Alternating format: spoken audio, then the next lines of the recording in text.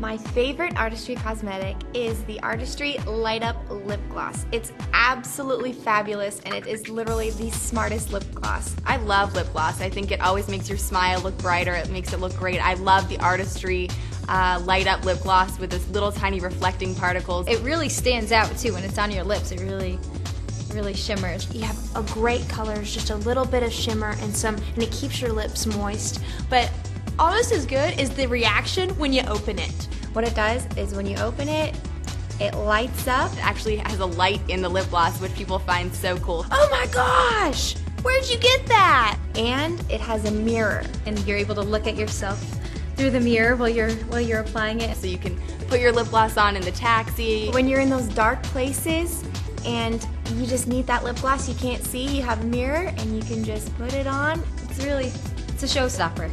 It's artistry. It's artistry. And I don't go anywhere without it.